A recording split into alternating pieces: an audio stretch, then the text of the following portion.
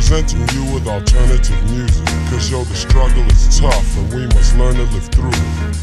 Pleasure and pain, pain and pleasure. Gotta maintain a balance to obtain the treasure. Not really preaching or teaching, but just reaching.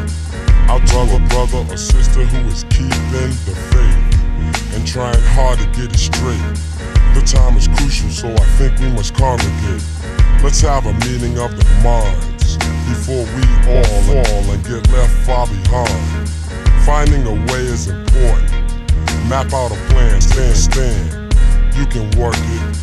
That's all it's all in your hands, and so of yourself, yeah, you should be demanding. We're all responsible for whatever outcome. That's why I speak over beats for my income. Knowledge is key, and if you ask what is it, G, it's just a form of my style of street ministry. Of street ministry.